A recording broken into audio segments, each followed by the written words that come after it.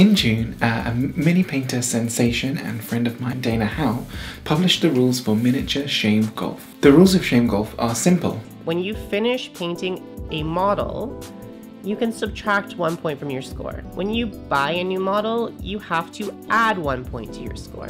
You can subtract one additional point if you give away or sell a model. The aim of the game is to get your score as low as possible in any given season. Season 1 is about to finish and we're about to go into Season 2, so I thought I'd take a quick look at what I accomplished in the first season.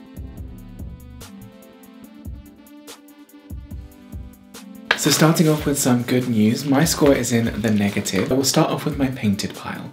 Uh, 10 infiltrators, 3 suppressors, 6 eliminators, 5 vindictors, Void Dragon, 8 Banshees, 10 Harridans, Reikenor the Grimhailer, 10 Krieg Guardsmen, Morgenval, 70 zombies and a Krulghast Cruciator.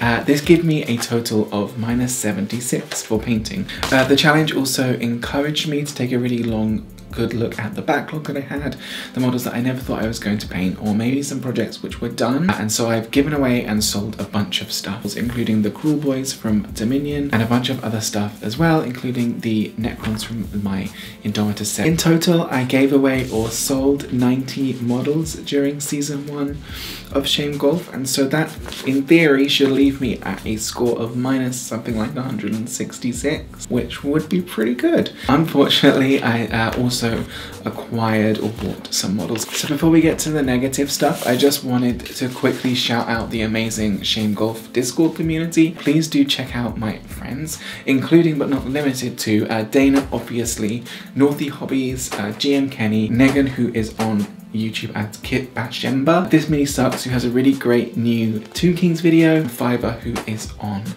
uh, YouTube as Sugar Candy Miniatures. Um, all of these make really great content and uh, being part of the Shame Golf community has helped me make those uh, new friendships.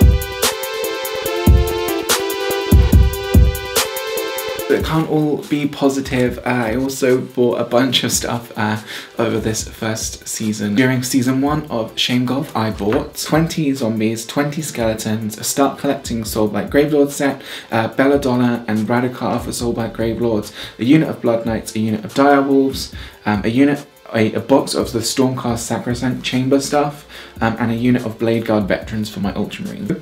If you do all of the adding up, my final score for season one of Shame Golf is uh, Putt Putt.